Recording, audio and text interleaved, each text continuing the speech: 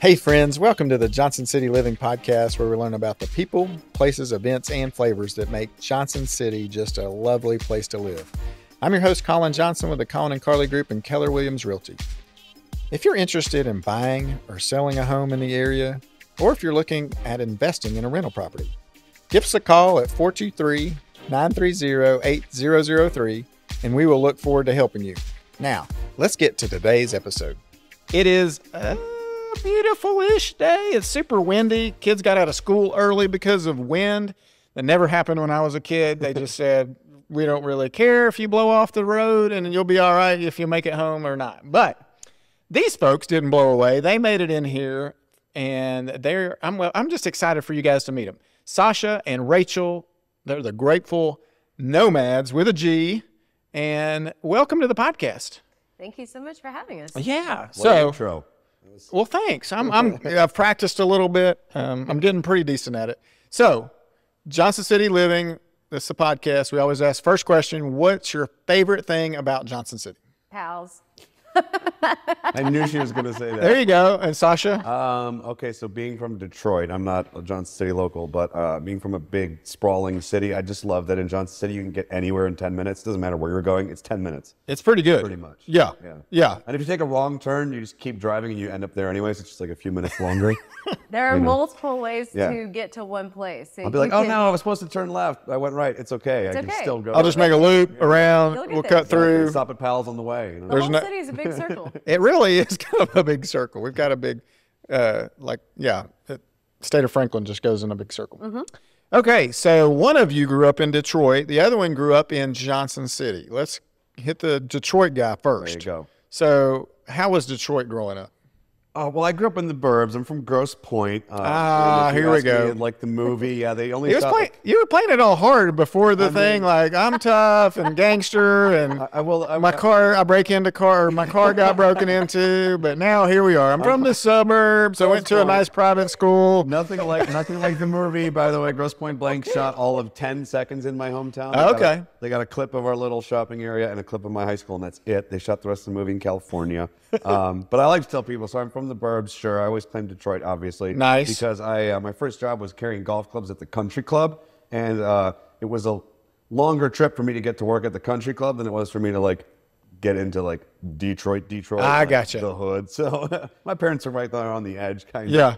And you know, I mean, hockey was was my life as a kid. That's cool. You know, I saw the Wi- Wings win a couple Stanley Cups when Yeah. uh, the Russian Five were playing for Detroit, and my last name being Savinov, my uh, classmates called me the Russian Sixth. Oh, Um, I unfortunately can't really ice skate or play hockey, but you know, that was life growing up. You know, Right. All about the, the Detroit Red Wings and um, you know the Motor City baby music. Yeah. I you know just grew up on music, um, playing music, going to concerts, and listening to music all day, every day. yeah. You mentioned a lot of concerts, so I'm excited to hear about some of those. And you so, know. yeah. And then Rachel grew up in Johnson City, Tennessee, the best place on the world. I grew up right here. Yeah. So, how was growing up in Johnson City for you? Um, it, I feel like it was your pretty um, average, typical um, family life. Like, Yeah. I think Johnson City is a really great place for families. I agree. Um, there's always a lot of family friendly activities and events and, and places to go and really nice parks. Um, but I think that Johnson City is a lot cooler now than it was when I was growing up. It is. It's we're coming around. Like it's getting to be super cool. Yeah, so it was safe and fun and a little boring. And Right. That's why you didn't stay here for college, probably. I that's exactly why I didn't stay here for college, but I didn't go far. You didn't go far. Where'd you go? Appalachian State. Gotcha. Yep. She thought hippies were extinct.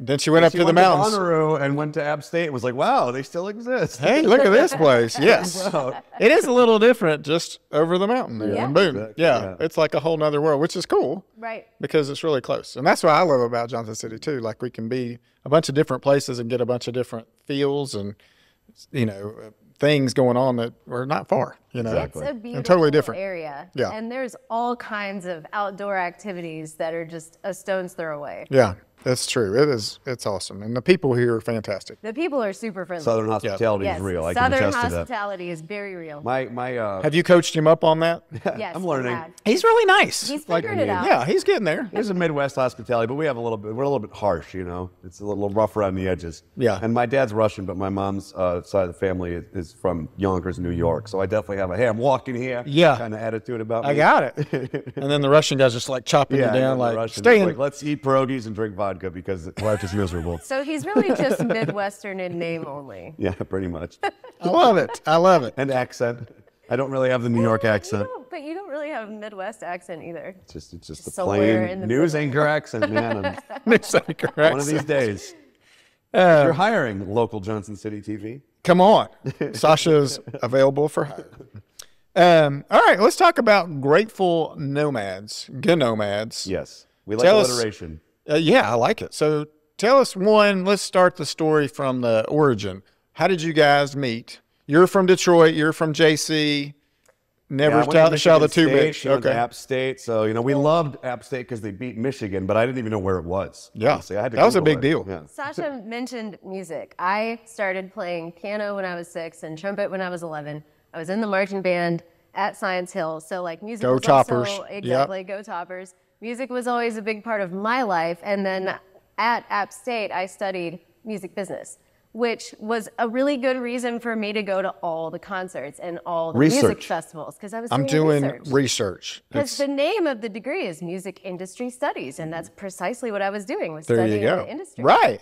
Um, There's a lot that goes into putting on a concert, as it turns out. Tons. You, know, you don't just and show up and plug in. Yes. And so my internship was working with a company that put together groups of volunteers for the festivals.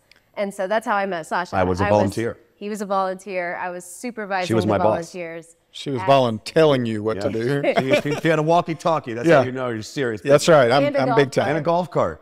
That's like next level. If you're at a festival with a golf like if cart. you had like a whistle, then you're really really doing some stuff. So it was, it it was the Rothbury Music Festival in Michigan in the town called Rothbury. They only had it in 2008 and 2009. We met But at then the it became one. Now it's Electric Electric Forest. It still so exists. if you've heard of Yeah. Electric Forest, it's it's that festival. Yeah, It has I think my buddy John Phillips with Access Security does that one, and Bonnaroo because you mentioned Yep. Bonnaroo here, and so he to does that too. Yeah, a couple times. So we, I, I was a volunteer. She was a coordinator or whatever. But we actually lived at the festival site for the week leading up to the festival and decorated the forest, the electric Ah, forest. that's cool. So we You got to see it come electrified to it. life, and it was so cool to watch all these hippies have their mind blown, like because they put lights and art all over the woods, and it's just this psychedelic playground. It's it's incredible. Now, how many people go to the Electric For- Electric Uh, Forest it's concert? smaller now than it was when it was Rothbury. When it was but Rothbury, it was like 60 or Yeah, it was huge and it was 70,000, Rothbury and wasn't they kinda That's it's like scaled it probably back. everybody in Johnson City is going. I going. would say twenty thousand these days for electric Between 20 Forest. and 30. Yeah. It sells out. It sold out immediately this year. so- that's awesome. Yeah.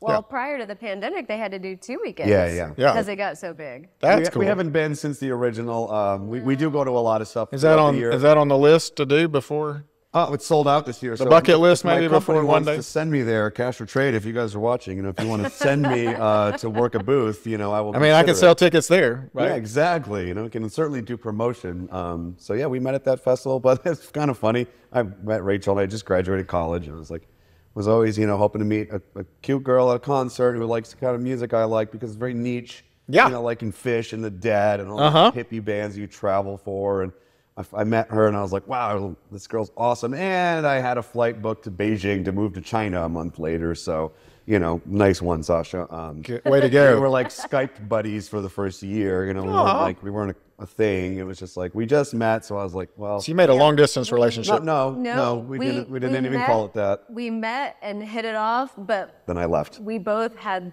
this like maturely odd, oddly mature self-awawness about the situation. Oddly the mature, situation. maturely odd. Either one. Yeah, both. maturely odd, or just plain, that should just be our plain odd tagline. and mature. You know, tagline: oddly mature. oddly mature self-awareness about the situation where I think we both felt like I well, we like each other, but like you're moving to the other side of the world, and I don't think either of us wanted to put this unnecessary pressure on it. So yeah, but we were just. what did you tell me, or ask me, about coming back to the U.S.? what did I ask you? She forgot. Oh. She was. She was like Is there any way you would come back earlier than you're planning Mm-hmm. Yes. on? And what was your answer? Only if Phish gets back together.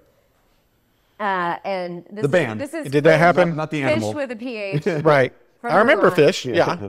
But I don't remember if they got back together. he he left in August, and they announced in October that they were That they were coming back the, the following March. And Um, you're like, boom, so busted. I missed I missed out on the the comeback shows in Hampton, Virginia. Tickets were crazy expensive, and I, I had literally just moved to China, so I was like, I can't go back like six months later. Yeah. I didn't have money for the flight, first of all. But uh, funny story at at those shows where the the tickets got so crazy expensive, my bosses, the Rich brothers. Uh, started Cash or Trade, or the company I work for, because the tickets were out of control. And they were like, hey, we used to just show up to a show and do this, put a finger in the air and you'd get a ticket. And now people want $500. This is nuts. They were developers and making websites and stuff. And so they kind of started right there, showing up at concerts with a with a booth where um, you know people could put a little sticky note. Yeah. And so they started it. Uh, now it's a full blown app and website, and I work for them. But I got a little detour there. Phish did come back, uh, did a reunion tour, and we Well, talked about so- going to see a bunch of shows together. And Well, no, I thought we might go to one or two Phish concerts because they got- had their big comeback show, but then they announced an entire summer tour. yeah, yeah. She There got you go. Knoxville tickets. That was her first show. Right Yeah. down the road, Rocky Top. So Knoxville was my first Phish show, which is essentially a hometown show. And We like to say that was our first date. I came back from China and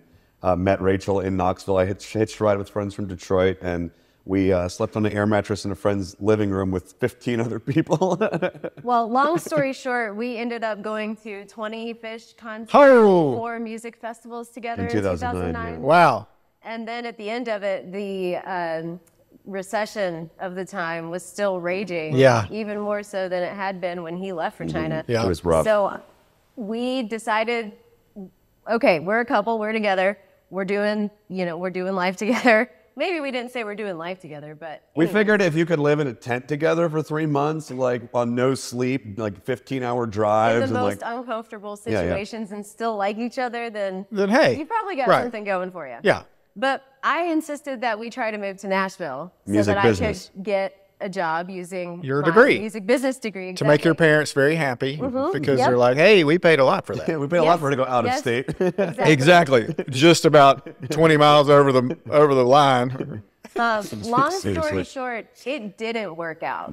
Um, I passed out my resume to a bunch of different places and finally got one interview that they gave the entry level position to someone who who had experience and had been laid off from a higher Someone position. got fired and then rehired in Rehired. a lower job. Right. Like that was the time, right? We you had to be like, oh yes, I'll take a lower paying job. Yeah.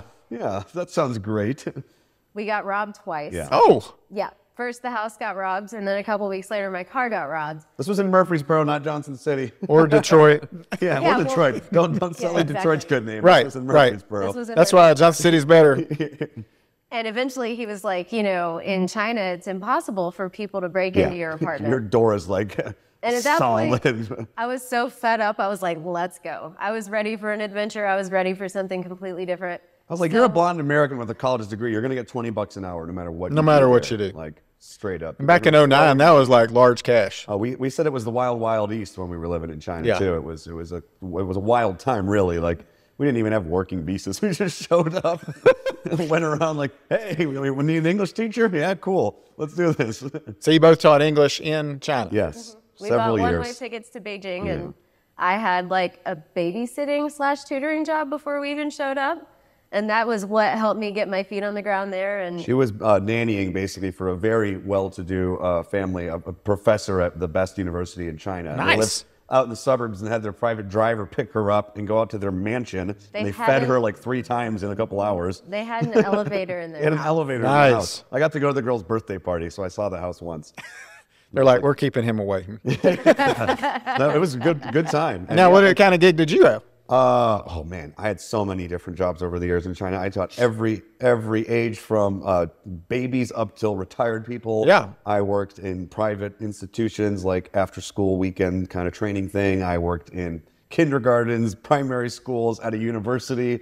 I did private tutoring. I recorded my voice for textbooks that were the script was full of bad grammar, and I was like, "This is wrong," and they're like, "Just read it. It's fine."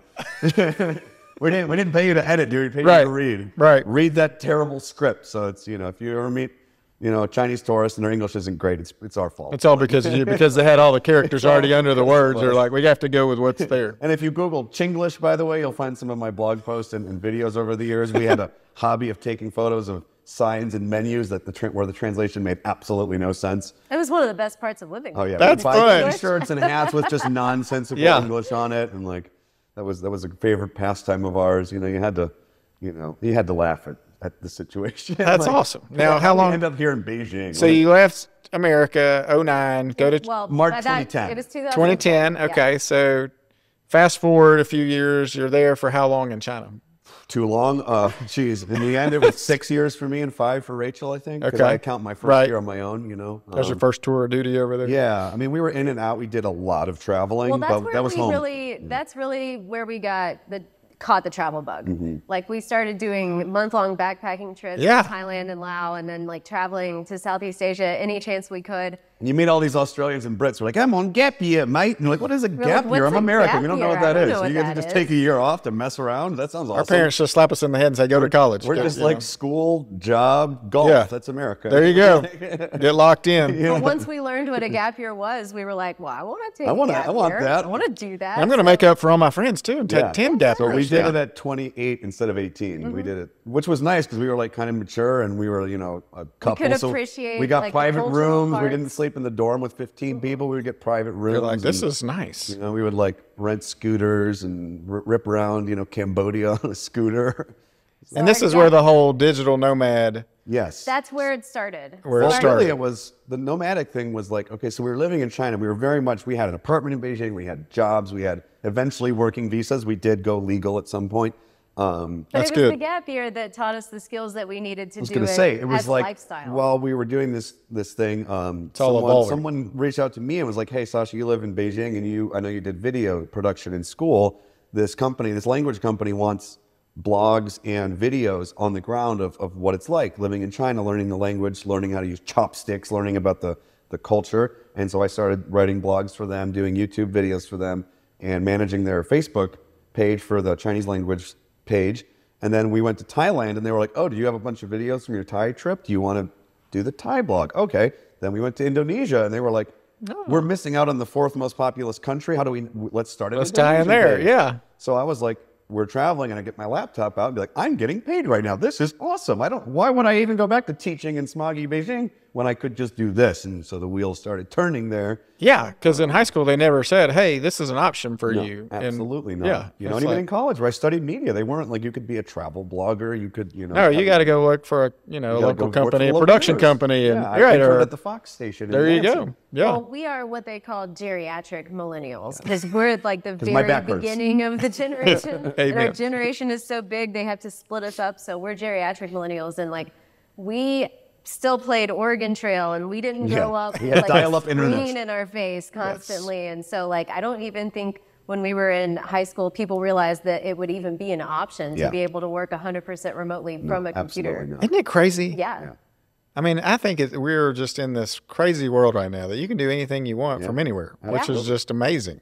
I mean, I, I think about like I graduated in 08 and I was in a digital media program and like we were not at Michigan State, this huge school, even on top of like what was coming up. We didn't Right. know. Like- Like, I was literally still doing these like, you know, working at the TV station, helping the local news. Like, Yeah. Why? What? Why weren't they ha- having us like build your own YouTube channel? Start a Right, start if you'd started back page, in LA, you'd be- to get you'd be set up. followers, Try to do digital marketing. Like that's what we should have been doing. We, I will say, in my music business program, we were learning how to build MySpace pages. Ooh, MySpace. So be it, Wow, we okay. said this. I mean, that She was ahead of the curve. That yeah, like bands were on MySpace for sure. Social Yeah. media. Yeah, that makes sense. is MySpace even a thing now? No. No, definitely not. R.I.P. It's in the ash heap of, of Somebody history. bought it, Google bought it, and shut it down or something. But we did um, on that gap year trip that Rachel's referencing. Before we left, I was like, "Let's start our own blog." That is because when we started Grateful Gnomads. I was already doing the stuff for the language company. I was like, I'm like to fancy myself a halfway decent writer. Someone's paying me to write. I, I went to school for video. I always carry a camera. I always record stuff. I Yeah. So I was like, what, why aren't we just documenting this trip? If, if anything else, just for us to remember. Yeah. And so it's funny. I thought we were gonna. I was gonna write a blog from every single place we went. and about three stops into the trip in Vietnam, I was like, that's not Like, gonna work. not- We're going to do a recap of each country at the end of the month. That's right. And that's that. And then that's how our, our Grateful Gnomads started. And then after the trip, we were like, well, why don't we just keep this going? And Keep Rachel rolling. started learning about, you know, blogging as, you know, source of income. And Well, after our gap year, when we ran out of money, we moved to a different city in Southwest China, which had been the plan the whole time. Kunming, it's a small city of 7 million that you've never heard of. And I got another teaching job, but Sasha had so much blogging work, he was like, you know, I'm good. I'm Yeah. just going to do the blog. I did eventually go take a You side, took a super part-time teaching job just to get you out of the house. just get me out of the house. And I like talking to humans. Like Yeah. it was getting kind of isolating and boring being on my computers by myself all the time. But I thought was like working full time. And you were still teaching English. had a full-time was still job, yeah. teaching in a training center, so it was like evenings Six and days a week, right? Six days a week. Your schedule and sucked. It was I so thought, bad. well, I really thought that after just traveling for 14 months straight, that I would be okay with going back to work. But I immediately realized I was not okay with going back to having a boss, having to Yeah. ask for time off, being having to ask for permission. to Especially with me being this like freelancing, Especially when he's just at carefree home all dude. day. I went to What'd Macau by myself. I went to Bangkok by myself because I had to do visa runs. And she was like, "When do I get to go?" I was like, "Because you have to work, dude. Somebody's got to work. yeah, someone's got to pay the bills." Work, as I She say in brings home the quotes. bacon and I cook it. That's like There you kept telling people that you're. but then it was like she was kind of like, I don't want to stay in this job. We liked Kunming a lot. It's a very cool city. It's, it's more like a Denver kind of vibe than Beijing. A lot of hippies and live music and mountains, and we loved it. But we were like, we got to get out of here. Well, once you get to experience that level of freedom Yeah. where you don't have any sort of responsibility, you can go wherever and kind of do whatever you want to do. It is Very addicting. Yeah. Yeah. It's really hard to go back to whatever's normal. when you like ride a scooter that. to the full moon party in Thailand, it's very hard to go back to work, you know, and like, oh, I'm just gonna go back to the normal nine to five thing. Well, like for someone who's listening who's thinking, I would love to be just free and just with my laptop going around Mm-hmm. the world making money, how what would be a first step for them? I mean, I think you got to figure out what you can offer I in, think- in the realm of, you Yes. know, like what could you do remotely, right? Like a lot of jobs now can be fully remote, really. So it's it, the, the net is very wide now. If you want to, like, okay, I was a freelancing guy for 10 years. Now I have a full time remote job. I work for a ticket company, Cash or Trade. I do marketing for them. But I also have CashorTrade.com, CashorTrade.org. cashortrade.com, dot org, dot org, yes, sorry. face value only. um, so like I have this full time job now, and my company is very flexible. So you can try to find a job like mine, or you can say I'm going to be a graphic designer, I'm going to be a writer, I'm going to start a podcast, start a YouTube Photographer. channel, It photographer. I'm going to design websites. I'm going to yeah. It really depends on what your skill set is, but in this day and age of online courses, you can learn you can learn anything, anything. You can learn anything. Um, Some people just make memes. I feel like s- uh, I follow people on Instagram. That's all they do is make memes. How do you make money on a meme? Because your account gets so many followers, and you get you know. you become an influencer, and so people who are starting new accounts will pay them to promote. Yep. Say, hey, go follow this account. Yeah. And I That's mean, if your way. YouTube channel gets uh, ours is monetized, all you need is it used to be a thousand. Now I think it's the rules, 3,000 subs you need to have, be monetized. changed. It's gotten a little, yeah. It's gotten Turn- but- harder to monetize. yeah. But I, I can tell you how we did it. Yeah. So our blog was the first step Mm-hmm. because then it was through the blog that we learned how to write blog posts, do like digital marketing and promote SEO ourselves. stuff, search engine SEO, optimization. Social media. That's how we started to learn all of those things. And the thing that got us out of China was Sasha uh, got accepted to a study abroad program at a university in Bali. yeah. So we moved from China to Bali, where I was just a housewife because it was Island housewife, yeah. housewife. So I focused all my efforts on our blog and monetizing it, and in that process, I found a job teaching English online, which then ultimately became our main source of income and what allowed us to actually become digital nomads and start traveling full time. Yeah, we were like, I got in this program in Bali. Awesome, one of the best, if not the best, experience of our lives, hands down. Like we like, we liked it in Kunming, but I, I, I just couldn't resist the urge. We'd been there twice and we loved it. And a friend had done the same program. It's a scholarship program through the government of Indonesia. They take like a thousand people from all over the world and put put you in different universities to learn the language. That's cool. Uh, or to learn a dance or art, you know, some, some Yeah. cultural thing. And they, they foot the bill. They give you a visa. They even gave me a couple hundred bucks a month, which didn't even cover our, our rent, but it was like, it helped out, It helped a out. lot. It helps, Um, yeah. And yeah, I was doing the, the Indonesian language blog, the Chinese, all these different language blogs. And uh, we had Grateful Gnomads, and Rachel was like, I'm going to really focus on like, how, how, do, how does ours make money? You're making Yeah. money for them. That's fine. But how does ours make money? Smart. at towards the end of the trip, we're like, okay, it's it went by really fast. You live in Bali for ten months and everybody comes to visit, we lived in China six years. Nobody. Nobody. visited. We lived in Bali for ten months. Everybody Yeah. visited. It's crazy. We had Yeah. like 14 visitors. It's like even That's harder hilarious. to get there and months. longer, more Yeah. expensive. Yeah, trip, but it's a know. little nicer. Yeah, Beijing, Bali. It's like Yeah, yeah, yeah. yeah, My mom was let's like, "Yeah, there." you have fun in China. I'm not going to visit you." That's funny. Bali though, yeah. Uh, but at, towards the end of the trip, we're like, "All right, what the hell do we do now? They're not going to let me stay." Yeah. Um, you Well, can't so- really get a job there in Bali. They make it very no, difficult. they make it really difficult. So we were both teaching English online, and then that's what people started asking me Yeah. about. So that was ultimately how I monetized Grateful Gnomads was Be an expert teaching, on teaching, teaching. people how to teach English online for the purpose of becoming a digital nomad. And I had an online course, and um, a lot, that was how we got a lot of traffic was from people coming to read those. and we should posts. mention that at that time it was teaching online with a Chinese Yeah. or a couple Chinese companies, two Chinese kids. Most that Gotcha. was where, the that was where the money yeah. was. Right. To That, the Chinese. that was yeah. where the money was. So we were like, why go back to China when we can just take that job and go to move to Mexico? yeah. Well, and that's so that sounds did. past tense. So Well, what that's is what we did for Yeah. five and a half years. We traveled all over uh, Latin Mexico, America. Central, South America for, for about five and a half Yeah. years. And Using then, Mexico as home base, basically. we Puerto used Vallarta. Puerto. Vallarta as our home base. And then the pandemic happened. And then uh, China, the uh, Ministry of Education basically banned online tutoring for kids. which would be, I think, totally contradictory to what It's total nonsense. everybody went here. We all went online. Why wouldn't They- you be? And we They won't even get it. They, they an banned entire- tutoring straight up. Like, like after school math tutoring became illegal because they, they were trying to level the playing field. So people who That have money was- can't pay for private tutors. That tutors was the anymore. reason they told the press. Yeah. They want people to have more kids, and they thought, oh, no, everybody Again, doesn't want to have kids because it's too reason they told expensive. the press. Yeah. Don't let us get into that nitty gritty. No, no, no. I'm not going to go on that rant. Either But way, anyways, we lost those the- jobs. yes, the point is that that completely pulled the rug out from under us because like, all, "Cool." of, all of those online language schools shut down Yeah. without warning. and there goes our best went content. It was useless all Yeah, of a sudden. yeah. Our So- top performing posts and videos like this is completely useless now. It Yeah. Of course. the course obsolete, all those blog posts obsolete. So you had to reinvent. So we had to. Completely to reinvent- reinvent it. Completely so what are we doing now?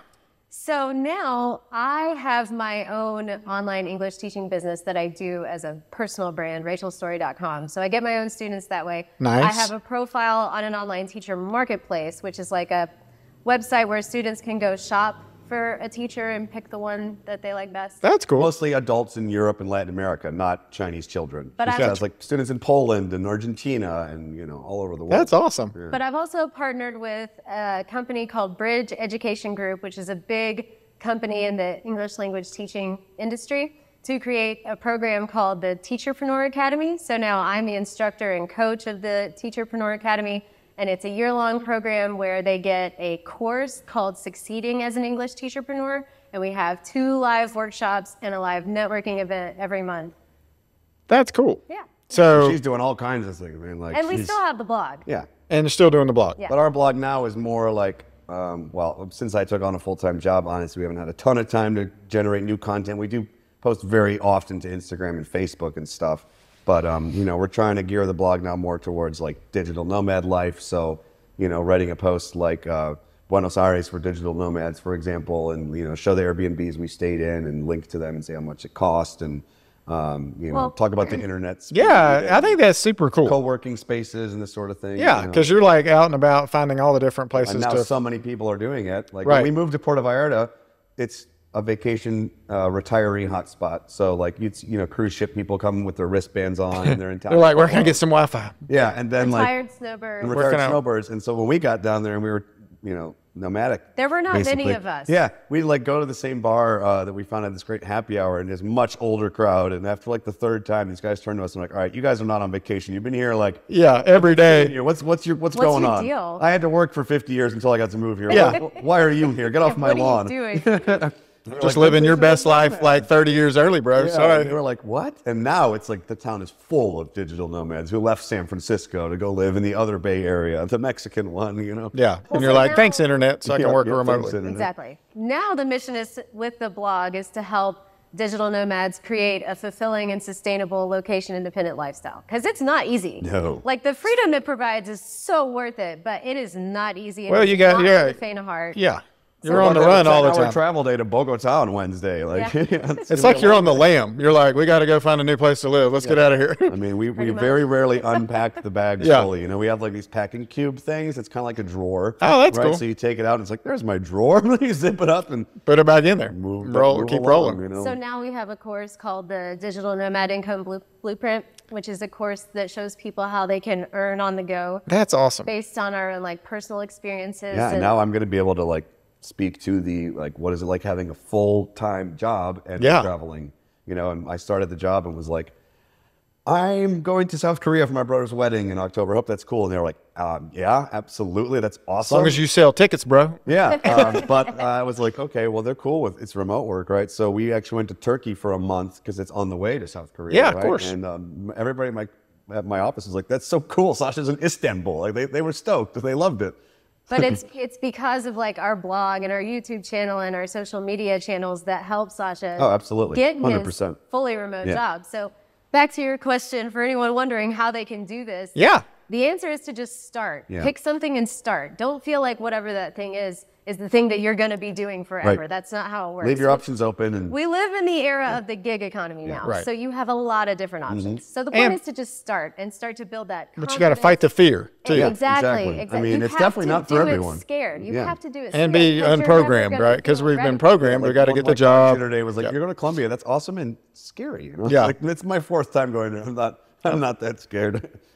I could just as easily get mugged in Detroit as Bogota. You know, Yeah. like What's the best way for our listeners to connect with you guys to to learn how to do this? Well, we've got our blog, gratefulgnomads.com, and we're Grateful Gnomads on Instagram, Facebook. We're YouTube, Grateful Gnomads Twitter. on YouTube.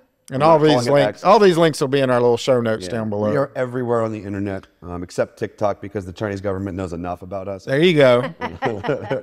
yeah, and you guys are in Johnson City a few months out of the year, which is kind of Yeah, cool. we're in this region, I'd say four to six months of the year. Yeah, which is awesome. It's kind of you know my home away from home at this point. Um, And it an is my adopted son home. here. It is your home. Yeah, it's, it's great. I love it. I love it.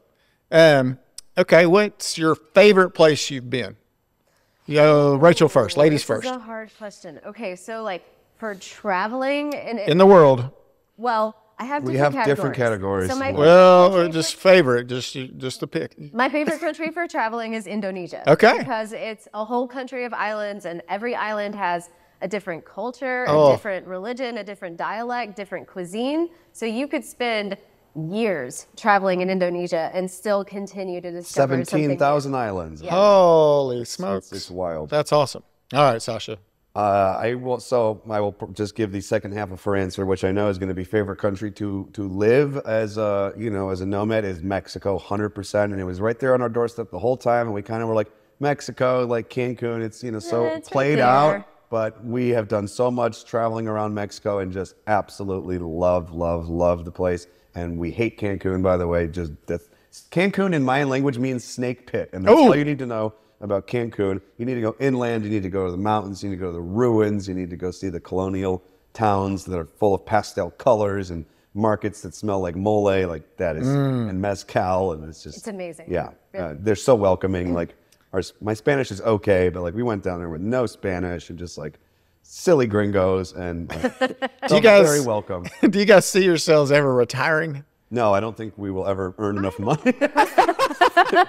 Honestly, um, Yeah, well, Maybe. I don't know. I, And my if dad- and if my- so, we're going to we're going to retire in Mexico or Indonesia who knows? I mean, it really, yeah, that's that's it depends on or the visa- Johnson City. The visa policy is always changing, and you know now all these countries have digital nomad visas. This is a brand new thing. Oh, like, that's cool. Yeah, now there are more options for you to stay longer term in places. And so people ask, are you going to settle down? Are you going to retire? This and that. But It's really hard to say right really now. But like we are really, really interested in the idea of finding a place we can we can stay for a year. That would be a good base. Mm-hmm. You know, so have like convenient in and out. um, Yeah. And like the visa would allow us to be there. So we're really pursuing that option. We're about to go to Colombia just for the winter because we hate winter. And it's eternal spring in Medellin, Colombia. There you go. Um, but then we'll be back, you know, in Johnson City, Asheville for the spring and summer, and um, looking looking for options for the fall. to Any maybe- European areas you're going to? That's, Okay. Yeah. We've got our sights set Yep. on Europe. There's for a the few fall. places you could go for a year without even needing any kind of visa. Albania, Georgia. Um, so yeah, that's. Um, I need to get a new credit card and get some points so I could get us over there.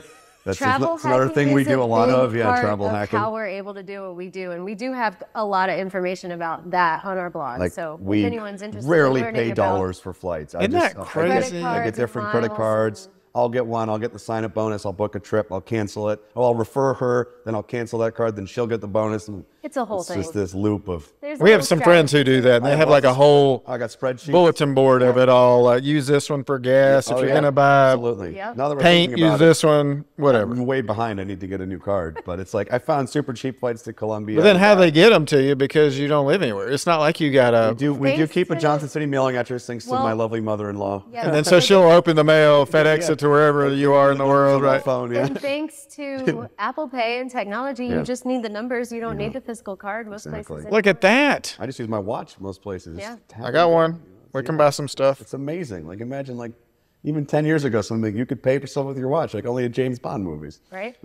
Well, I am super glad I got to catch you guys, and I'm glad we're friends now. So that anytime I'm like somewhere in the world, I'll just call you and be like, "Where were where are you all at?" Because I need help getting somewhere. And you're You like, can "Oh, I got a rely dude on that us. knows we, it." we just helped her mom and stepdad book a trip to the Virgin Islands. Mm-hmm. So, you know, if you need some uh, advice on, on travel or flights or Sasha credit cards, is a phenomenal travel planner. He is the reason why we do she just shows up and dances. That's everything what that she we does. do. So really, Just if like, you don't want to plan your trip, Sasha will gladly do it for you for a, for a sl- fee. small small fee, Very reasonable fee. very reasonable fee. I, I have, we have done that actually. It's like we have had people pay me to uh, plan their trip. That's awesome. Yeah, I, I love it. Like I got so excited when I found her mom and, and uh, stepdad this direct flight from Charlotte to St. Croix. I mean, I've always said I was going to pimp out your planning skills. and I There you wasn't go. There you go. I like it. I love like it. Like I got, I get into the nitty gritty. Like I just booked us uh, flights uh, last night at a bar in Charlotte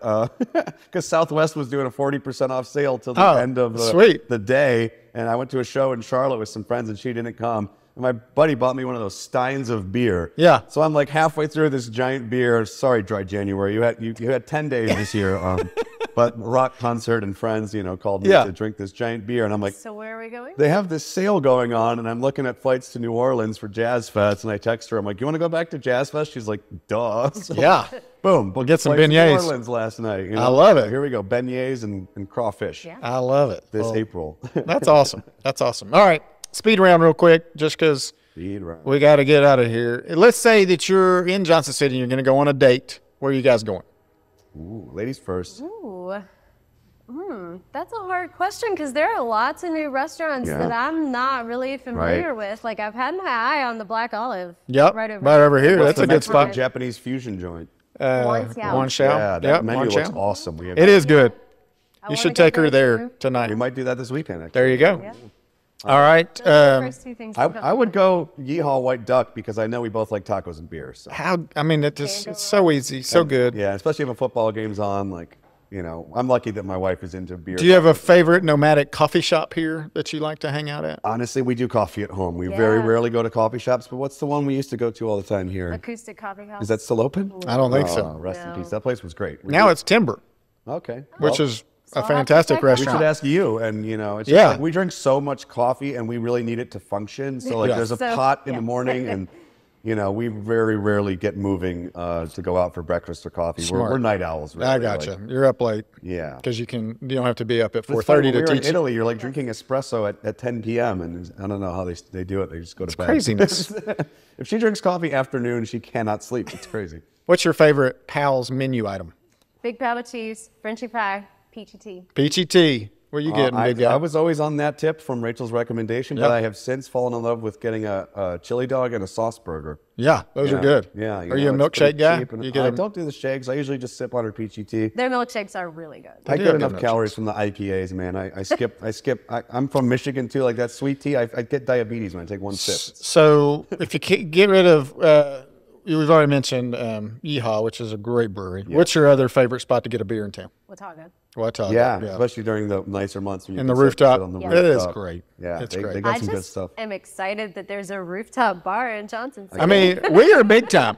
We are big time. And you have like multiple options for Thai food now. It's Yeah. Johnson City's cool. yeah, I love it. it's it. kind of cool now. We are we are cool, and you guys are partly why it's cool because we've got digital nomads rolling through, Mm-hmm. bringing life and bringing stuff that's just we don't have normally. I feel So- like Johnson City is is probably an overlooked and underrated nomad destination because everybody's like. Asheville. It's like Ash- we we spend a lot of time in Asheville and I love it, but it's overcrowded and expensive. It's expensive. Yeah, Yeah. so- we had a lot of people who'd move, like they want to move to the sure. East Tennessee, Northern or Western Carolina area, Mm-hmm. and they look over there and they're like, it's too expensive. But now we're price wise and housing just the same. I mean, it's so, So- close. It's not like you couldn't pop down there for a show. Oh, people do that all the time. Yeah. Yeah, the orange peel. I mean, Oh, before that's what I did all through gonna high say, school. yeah. Carly was just looking today. My wife was looking at orange peel, like, "Wh- who's coming? Salvage Station is our go-to venue in Asheville. Oh. yeah, it's an old junkyard. Uh, Yeah, I think I've been by that. great man. They have they have an outdoor and an indoor stage, and now they use both of them.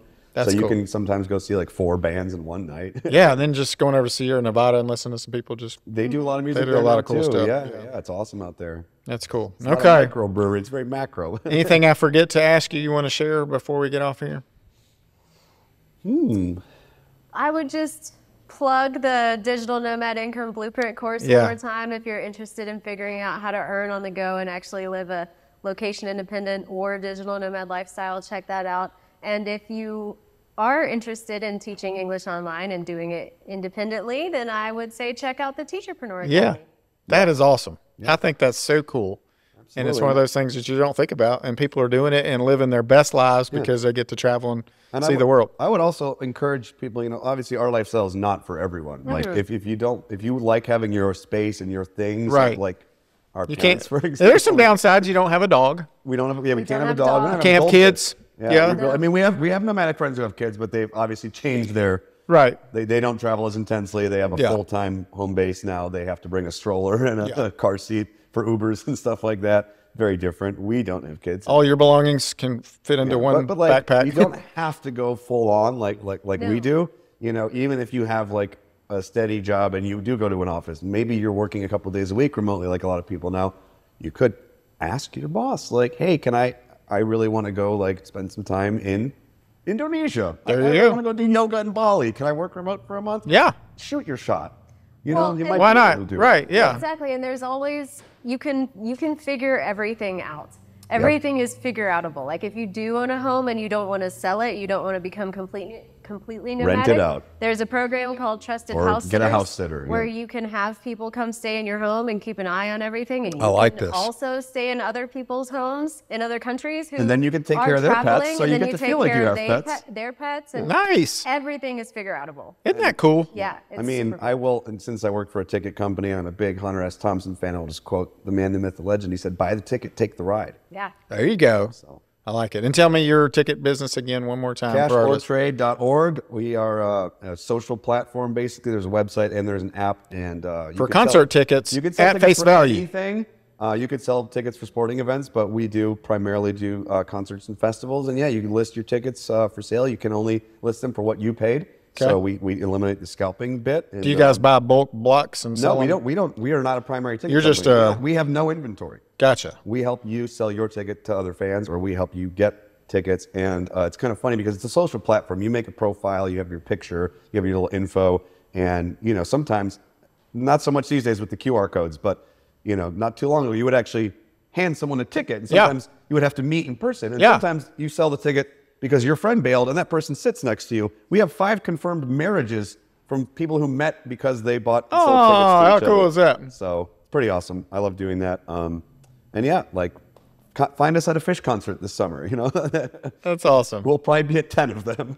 I love it. I love it. Well, thank you so much for coming on the podcast. I'm glad I got to meet you guys. If you ever want to buy a house here in Johnson City, call me. I mean, I'd love we, to. we would look here before Asheville. there you go. Yeah, we can rent it out for you, help you make some income that would support your lifestyle. You can really, get, we can deposit it wherever you want, and it's, a probably lot not of fun. that lofty to even to say that Yeah. these days. It's probably you know, as we're approaching forty, that's starting to sound kind of nice. You're, you're, you may have to start adulting at some point. we're not very good at hashtag adulting. Oh, I like Neverland. I like it. I like it. I don't want to ever grow The up. sure one for us. That, hey, there you go. I love it. I love it. Well, thank you so much for coming on the podcast. Thank you guys for listening, and I hope It's five you. o'clock. I think we need to go to the brewery. It is time to roll and get a cold beer. So have a great day.